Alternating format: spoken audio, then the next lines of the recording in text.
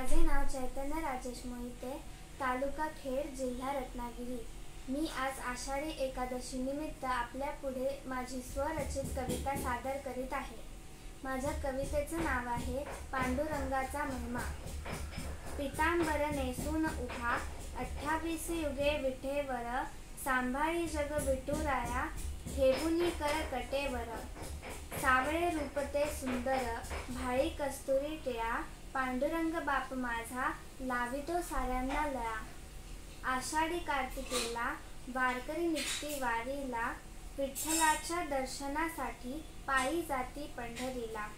विठ्ठल भक्त वारकरी आतुर झाले मनोमनी विठ्ठल विठ्ठल विठ्ठल शब्द पडतात कानी. कोरोनाच्या महामारीने सगळेच जण त्रासले वारकरीच काय तर आता पंढरीनाथही आतुरले. वाट बघत आहेत ते लेकरांच्या भेटीसाठी.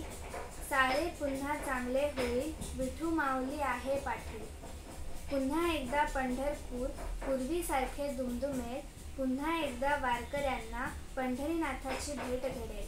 पुन्हा एकदा वारकऱ्यांना पंढरीनाथाची भेट घडेल. धन्यवाद.